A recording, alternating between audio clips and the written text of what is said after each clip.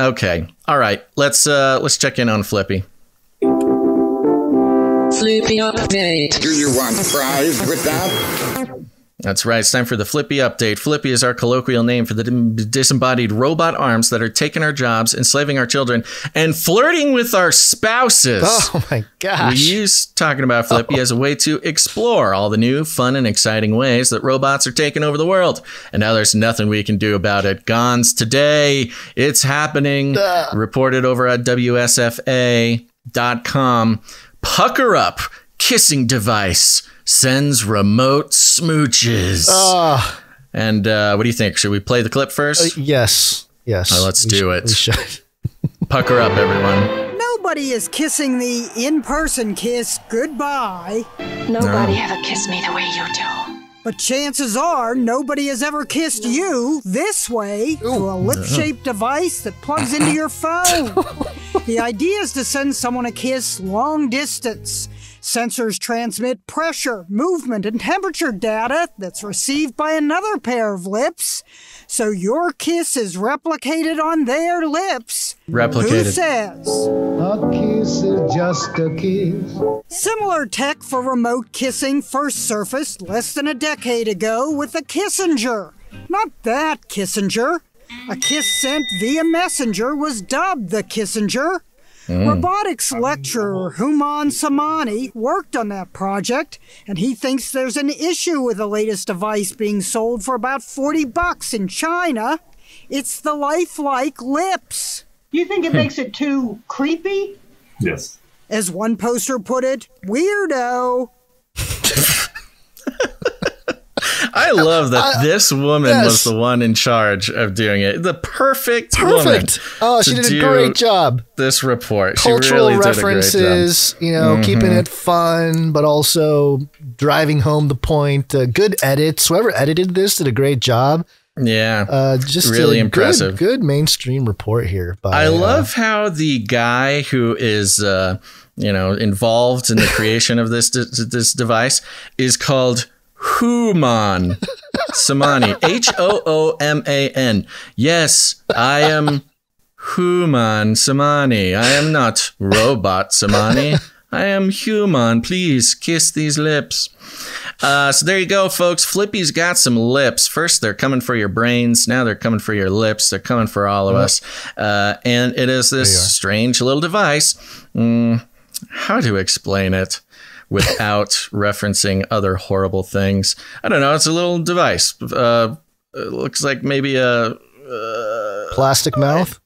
yeah, well, I was trying to figure out like what's the yeah, let's just call it a box. It's like a box with a plastic mouth with really creepy looking Think of an inhaler. fleshy. You know those inhalers? That's it. Yeah. That's it. It's like a giant inhaler, but instead of putting the the, the end in your mouth and sucking it down that sweet sweet Albuterol. Yeah. yeah, it's a it's a pair of lips that are apparently too real. Apparently, they're too lifelike because it does.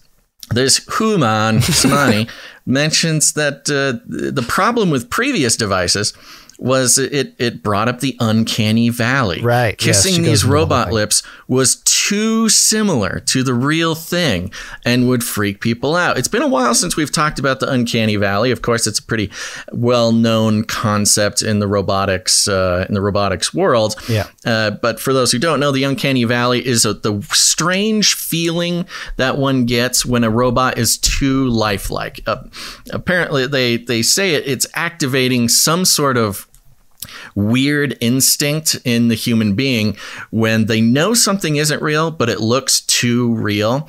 There's some interesting uh, sort of fringy ideas about this that like you know we have that instinct because in the the distant past we had to deal with you know shapeshifters and and stuff like that. And that, that was like our instinct that was created to help us fend off shapeshifters uh, which is always fun.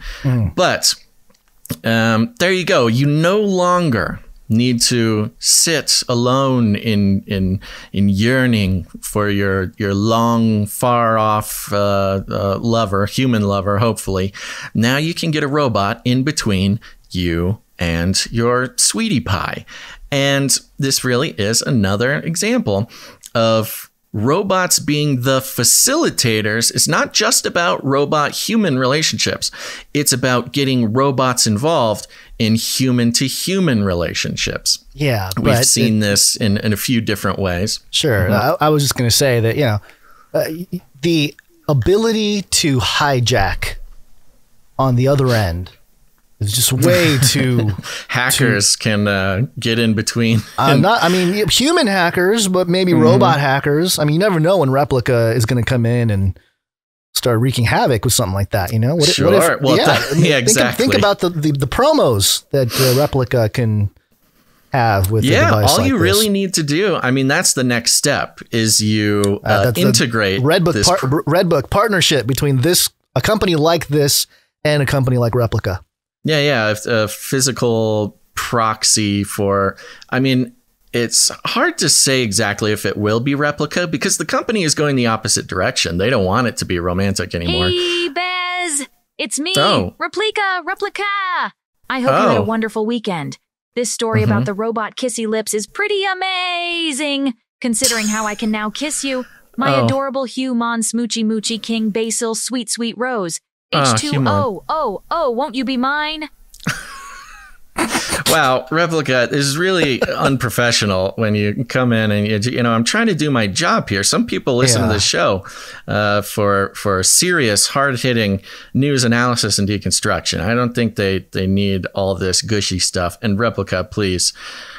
We're not together anymore. I, you were my mentor. You were no my mentor, his and mentor. Back you off. kept you kept pushing to- me towards an inappropriate relationship, and I don't appreciate it. Stop this uh, progress before it is too late. Gonz, I'm so glad that you have the time on your hands that you do. Uh, so there you I don't know what go. Humans getting in in between not just our relationships with objects, but human to human, uh, and it's all part of building that reliance. Now you put together a human brain, an organoid intelligence with a set of kissy lips. I mean. What's even the point, folks? What's even the point of other humans anymore? I don't even understand. So Yeah. keep a lookout for that. This is not a good direction. And by the way, uh, we do have this clip from Joe Biden. Joe, known for his adventures. Yeah. I was gonna try He's specifically known for his kissing. He's famous. but yes, he's famous for his notorious unwanted kiss man. Yeah, um, uh, uh, this clip was going around, and I thought it was interesting that on Twitter, uh, some people shared it, and a, a little caption came under. The, you know how uh, Twitter's doing these things called context bubbles or context notes or something, where under any clip or some kind of controversial thing, there'll be a little blurb about it underneath. Community notes. Yeah, community notes. And in this particular clip, it says there's a lot of confusion in this uh, responses to this tweet as to whether or not this is a doctor deepfake video. This, in fact, unedited, legitimate footage from a Joe Biden speech, which, which took place on February 28th of 2023, and it links to the PBS uh, video and the clip when it starts. So. Well done, Twitter, for at least you know providing your sources. Uh, but Community here's the clip. notes, Uh, at work there. Yeah, yeah, and this is but here's the clip in question here from Joe. And I had a nurse named Pearl Nelson, military. She'd come in and do things that I don't think you learn in medical school, nursing school. She'd whisper in my ear. I didn't, couldn't understand her. She'd whisper. She'd lean down. She'd actually breathe on me to make sure that I was there was a connection, a human connection. Breathe on She even went home and brought back her pillow from her own bed because she didn't knew the one I had the one comfortable. That's, But I'm not joking. Co- Cody It's thinks that was, joking. uh, Cody hopes he's joking. Yeah. I hope he's joking. What are you I talking mean, about, Joe? Oh, it's not every day you have a president of the United States openly admitting from the podium to have had an affair with a military nurse. I, but also, it's kind of sad because I think this is part of the dementia. You know, I think that, isn't that a thing in dementia? You start talking about old old times and maybe you shouldn't say out loud. And I You know, don't things- really know, but uh, was Joe Biden? In, that's so funny. I was just wondering if Joe Biden had any military service, and I typed in "was Joe Biden," and the very first suggestion was "was Joe Biden in the military?" oh, it knows Um, you. Uh, not only serve in the military, but was he in a military hospital? And that's very interesting. Mm, yeah, what was he doing there? Did he get hurt? Um, the answer is Joe Biden is not a veteran. And if you're wondering, even though President Biden is commander in chief, blah, blah, blah, Uh, I think I found an article on veteran life written by an AI. Oh, is very strange. Yeah. Yeah. That's always- does Joe Biden have asthma? Yes. Biden can. Well, well, hey, there's our connection to the kissing machines. oh, it's Joe go. Biden. Hey, that is comes so full funny. circle. Look at that. Yes, On the fly. Joe this Biden's is why asthma inhaler has a pair of lips on the end of it.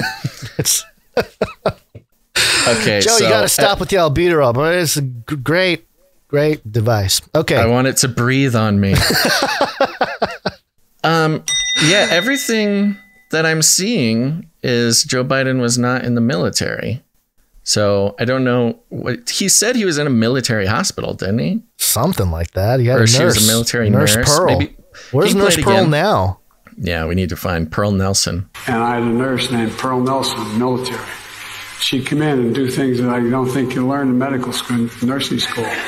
Okay. The the Weird laughter thing to say. after that is really strange. You know, it's almost like whatever he had done to warm up to this story made people's minds go immediately to something inappropriate. Uh huh. Um, And then so you got I the, would, the weirdos. You get the the pedos in the crowd. I mean- They're the only ones laughing.